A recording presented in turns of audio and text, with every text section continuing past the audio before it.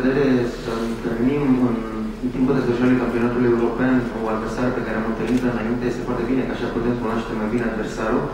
dar uh, indiferent de, de, de echipele pe care vom juca,